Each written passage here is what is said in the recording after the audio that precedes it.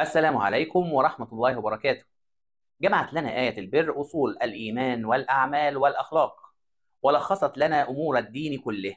قال الله تعالى: ليس البر أن تولوا وجوهكم قبل المشرق والمغرب ولكن البر من آمن بالله واليوم الآخر ولكن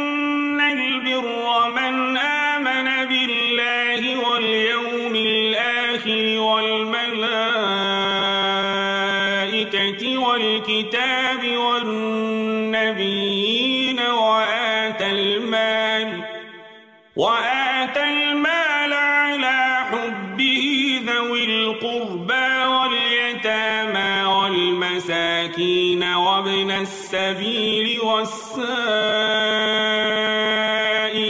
وفي الرقاب وفي الرقاب وأقام الصلاة وآتى الزكاة والموفون بعهدهم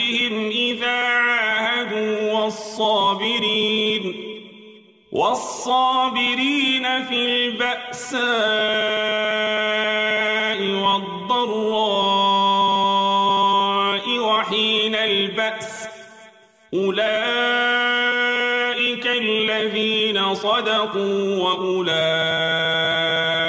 هم المتقون ولماذا نعمل؟ ألا يكفينا الإيمان بالقلب واللسان؟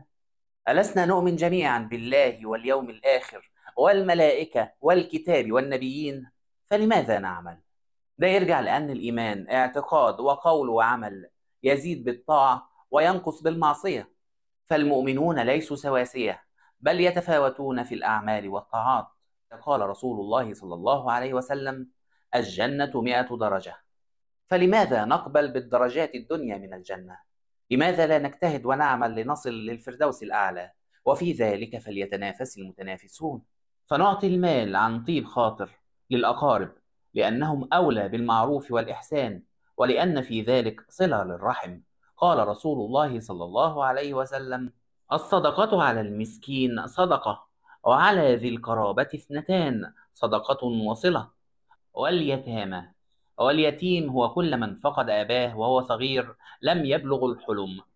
وهذا من رحمة الله سبحانه وتعالى باليتيم الذي لا كاسب له وليس له قوة يستغني بها عن الآخرين. وهنيئا لكافل اليتيم فهو والنبي صلى الله عليه وسلم في الجنة كهاتين والمساكين وهم كل من أسكنتهم الحاجة وأذلهم الفقر ولهم حق على الأغنياء. وغالبا ما يتعففون ويفضلون القليل عن إراقة وجوههم بالسؤال. قال رسول الله صلى الله عليه وسلم ليس المسكين الذي يطوف على الناس. ترده اللقمة واللقمتان والتمرة والتمرتان ولكن المسكين الذي لا يجد غنيا يغنيه ولا يفطن فيتصدق عليه ولا يقوم فيسأل الناس. فهم قوم لا يسألون الناس إلحافا وتحسبهم أغنياء من التعفف. وابن السبيل وهو الغريب والضيف المنقطع عن بلده. فابن السبيل ما هو إلا غريب الدار ليس له صديق. أقصى همه كيف يكمل الطريق؟ كل له طوق نجاة يتعلق به الرجل الغريق. والسائلين وهو كل من يسأل حاجة من الحوائج. قال رسول الله صلى الله عليه وسلم الأيدي ثلاثة فيد الله العليا ويد المعطي التي تليها ويد السائل السفلى فأعط الفضل ولا تعجز عن نفسك. وفي الرقاب وله أوجه كثيرة فيعتق عبده من الرق أو يشتري عبدا ثم يعتقه من الرق كما فعل سيدنا أبو بكر الصديق مع سيدنا بلال رضي الله عنهما. وهناك من يكاتب عبده على مبلغ من المال. فإن أداه فهو حر. وهناك أيضا فداء الأسرى من أيدي الكفار والظلمة. وتمتلئ السجون بالغارمين من الآباء والأمهات العاجزين عن سداد الدين الواجب السداد فيحبسوا.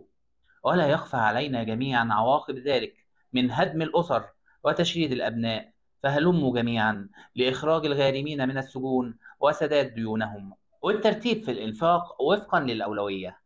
فبدأ بذي القربى أولا لقرابتهم وثانيا لحاجتهم ثم اليتيم لأنه منقطع الحيلة تماما فلا كاسب له ولا يملك القوة ليغني نفسه ثم المساكين للحاجة الشديدة ثم ابن السبيل لانقطاعه عن الوطن ثم السائلين لأن منهم الصادق ومنهم الكاذب وأخيرا في الرقاب لأن لهم أرباب يعولونهم. وبعد أن نفرغ من الأعمال المتعلقة بالغير نأتي للأعمال المتعلقة بالنفس الأعمال البدنية والأعمال المالية وأقام الصلاة على الوجه الذي يحبه الله ويرضاه فيؤديها في وقتها وتكون مستوفية للأركان والشروط والسنن وتكون بخشوع. وآتى الزكاة عند مرور الحول وبلوغ نصاب الزكاة وأدائها لمستحقيها. وفي القرآن الكريم دائما ما تقترن الصلاة بالزكاة لأنها عنوان لطاعة الله. جزاكم الله خيرا.